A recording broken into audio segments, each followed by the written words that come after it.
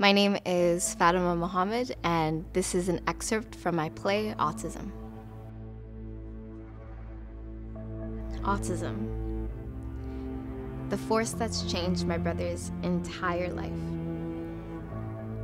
I couldn't tell you what the toughest part is. Maybe it's dealing with the people, all the stares, the pointing, the giggles, the laughter, everything I had to stand through without knocking somebody's teeth in all of those faces. I could never forget the people who made me feel dead for claiming my brother as my own. Or maybe the toughest part is dealing with the embarrassment. he used to throw off all of his clothes in the middle of the mall. And sometimes he would lay down and scream a fury when we couldn't afford to buy him another bag of chips.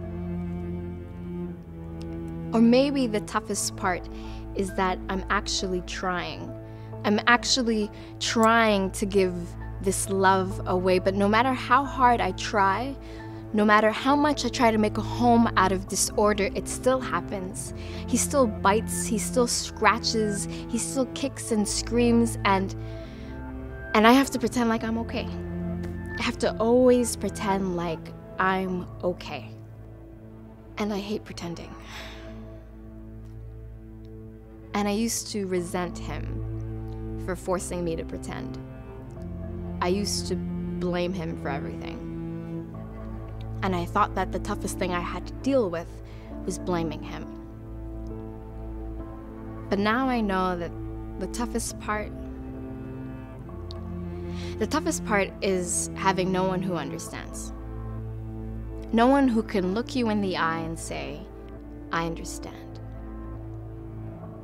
Autism plays a huge role in my life. My youngest brother, Bilal, lives with autism and a developmental disability. Uh, when I was younger, I used to just tell people that my brother was deaf because it was just a lot easier than um, facing the reality of trying to answer people what autism was.